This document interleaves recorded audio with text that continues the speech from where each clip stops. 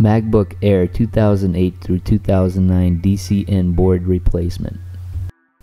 When removing the rear access panel on this model, there are three different unique screw sizes. On the top left is a medium sized screw. And in the top right corner, there's also the same type medium sized screw. In the middle two top screws, they are the longer ones. So in total, there are two long screws in the middle top, two medium length screws on each of the top corners, and six very small screws going around the rest of the contour of the MacBook. Go ahead and remove the four medium and long screws up top first. Now go ahead and remove the six short Phillips head screws.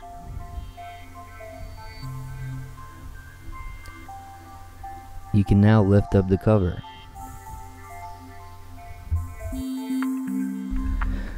Before you begin, start off by disconnecting the battery from the logic board. It's connected one simple connector switch. The battery is being held in with 9 Phillips head screws in various sizes. Go ahead and unscrew those screws about 5 to 7 turns each, but leave them in their respective socket this will make it easier for you to reinstall the battery without losing the screws.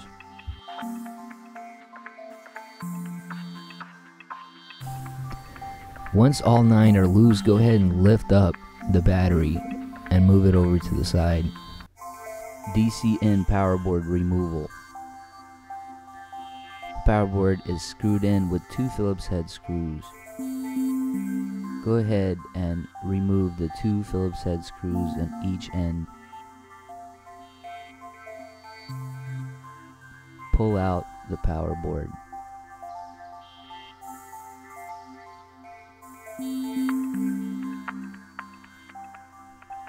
DC-in power board installation. Go ahead and place in the power board into its socket first. Then secure it with the two Phillips head screws. Please note that it doesn't screw in all the way and it is kind of loose even after a tight installation.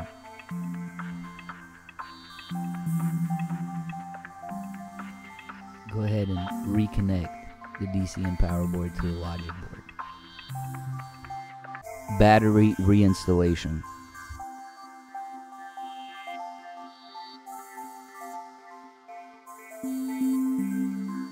Place the battery gently into its socket.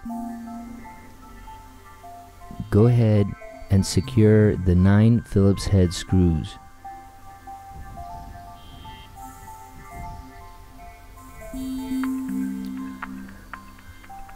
You can now go ahead and reconnect the battery to the logic board. We're ready to put back the main cover. Place the cover and cover the MacBook Air.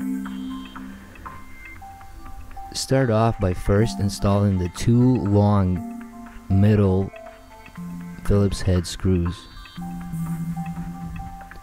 Then the two medium sized Phillips head screws on each corner on the top of the MacBook. Now install the six short Phillips head screws going around the bottom contour of the MacBook.